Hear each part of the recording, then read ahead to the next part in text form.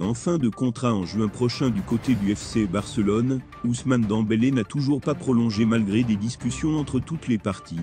Les dernières nouvelles n'étaient cependant pas bonnes pour le club catalan, puisque Sport expliquait que l'international français, 27 sélections, 4 buts, n'avait pas l'intention de prolonger son bel.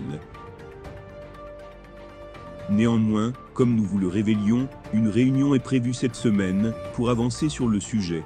Une réunion à laquelle devrait assister le président du Barça Joan Laporta.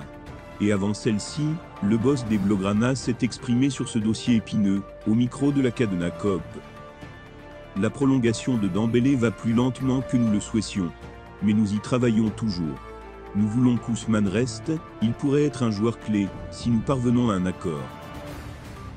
Toujours est-il que pour le moment, un accord semble bien loin. Eden Hazard vit une nouvelle saison compliquée au Real Madrid. L'ancien joueur de Chelsea, souvent gêné par des blessures, a assisté à la victoire des Madrilènes mercredi soir face à l'Athletic Bilbao sur le score d'un but à zéro depuis le banc de touche, sans même entrer en jeu, ce qui ne va sûrement pas éteindre les rumeurs concernant son avenir et un possible départ de la capitale espagnole.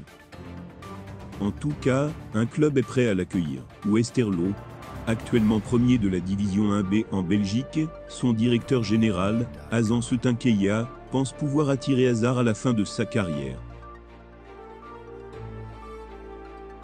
Je pense que je peux le considérer comme un ami, a déclaré l'ancien directeur sportif de Fenerbahçe à la RTBF.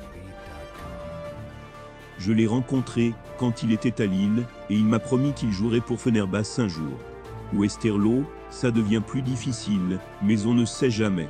Il pourrait terminer sa carrière ici. Match de folie à Old Trafford. Manchester United recevait Arsenal, et le moins que l'on puisse dire, c'est qu'il y a de l'action. Après le but gag concédé par David De Gea, Bruno Fernandes a permis aux Redeville d'égaliser.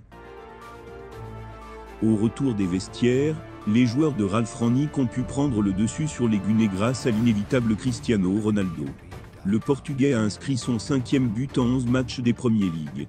Mais il a surtout marqué la 800e réalisation de sa carrière. Chapeau l'artiste,